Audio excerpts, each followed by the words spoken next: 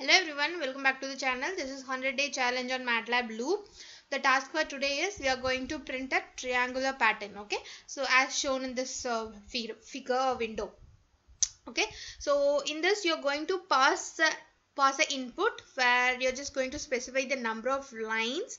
Okay, the triangle should be. Okay, if I pass 9 then 9 lines will be here in this triangle like this is the last line which contain 9 star and the 8 line 7 6 okay 9 8 7 6 5 4 3 2 1 and it should end at 1 okay?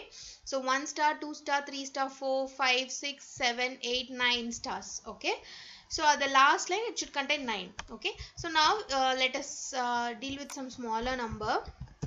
See here 5 i'm giving okay?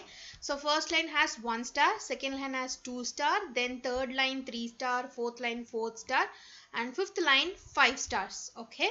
So this is how your uh, your program should be I mean you have to write the program. Like whatever the number you have uh, given to the function then accordingly the uh, triangle should be printed okay? So let me show you the program. This the program is very simple. I just used only three for loops few printing statements and uh, some uh, little little uh, mathematical functions okay? Arithmetic function that's it. So just have a look on out of this uh, program. If you have any doubt do let me know in the comment section. I'll be ready to answer your queries okay? So let me just take you to this uh, uh, command window. Once again let me run and show you how this program works okay? So let us go and try with some bigger number like 10 let us try uh, still more bigger number 30 okay 30 is a bigger lot bigger right? See here. It just uh, didn't fit in this window okay? So 30 is a bigger bigger number okay? Okay now let us try with um, 20 okay so 20 just fits the window right?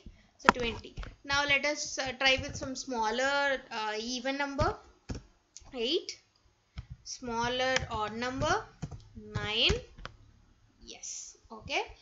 So this is how the program works. Okay. So if you have any doubt as i said do let me know in the comment section. I'm ready to answer your queries. Okay. And that's all for this particular video. We'll meet you in the next video with more interesting topic. Till then take care. Bye bye